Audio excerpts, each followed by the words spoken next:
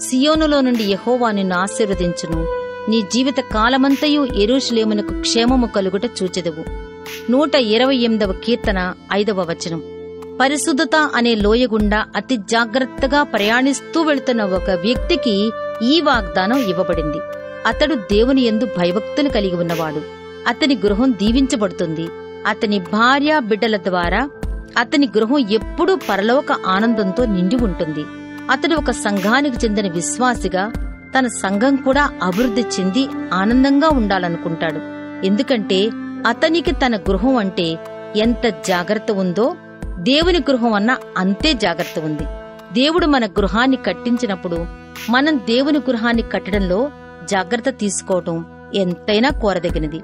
దేవుని సంఘం అభివృద్ధిని మనం కోరినప్పుడే మన గృహంలో ఉన్న వస్తువులన్నీ దీవించబడతాయి. అవును నువ్వు లేచి సియోనులో ఉన్న సంఘానికి వెళ్ళినప్పుడు నీ ఇంట్లో ఒక ఆశీర్వాదాన్ని చూస్తావు. అక్కడ నువ్వు ఉపదేశించబడతావు ప్రోత్సహించబడతావు ఆదరించబడతావు. అక్కడ నీ ప్రార్థన నీ స్థుతులు ధూపం వలె పైకి వెళతాయి.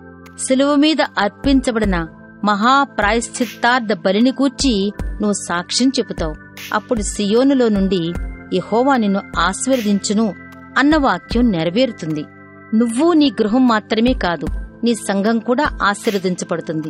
విశ్వాసుల సంఖ్య పెరుగుతుంది. వారి పరిశుద్ధ కార్యాలు విజయ కిరీటాలచే అలంకరించబడతాయి.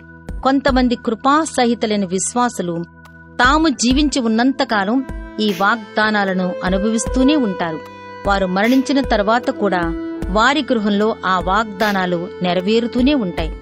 తమ జీవిత కాలమంతా ఇరుషులేముకు మంచి సంగతులను తెచ్చే వారిలో మనం ఉందాం. ప్రభువా నీ కృప ద్వారా మమ్మల్ని అలా చెయ్యి ఆమె